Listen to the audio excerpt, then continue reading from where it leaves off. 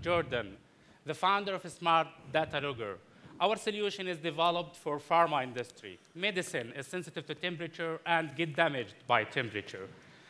Unfortunately, 20% of temperature-sensitive shipments get damaged to final destination. This issue causing pharma industry alone 35 billion US dollar.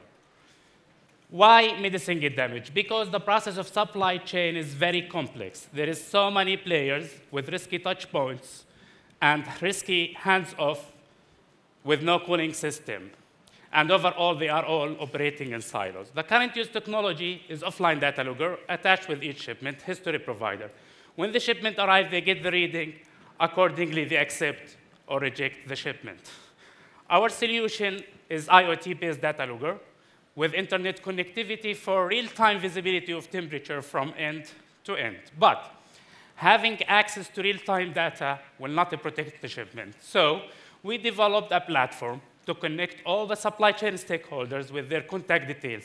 In case of event, the device will immediately notify the in-charge person at the operation field for real-time action, thus protecting all from huge losses and pains.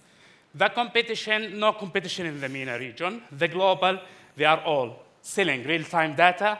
We are selling real-time action. The revenue stream, the device will be for rental to make it cheaper than the current use single-use devices. The software will be provided as a service with monthly subscription, and there will be charges for notifications. The more we protect shipments, the more we will generate money. The kick-off market will be Jordan, small but ideal. We have six big pharma players, and they are global players, and only one airline handling the operation at the airport, and we early piloting our solution with them all. My last 12 years experience in software and uh, supply chain management, last position, Senior Development Manager of Supply Chain, with MPA from Finland and Lean Six Sigma from USA. My co-founder Yahya with 13 years experience in software development, the last four years as IoT product manager. Achievements, two things to tell you. We just started in November. We presented our solution in Mobile World Congress. Nokia got interested in our approach to the solution. We will be having meeting next week in Amman. We had our first customer, Jordanian courier.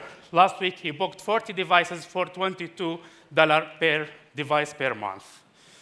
Looking for 150K to manufacture, outsource 500 devices, and develop the second version of our approach. By six months, we will break even. Please come to validate and play with the numbers.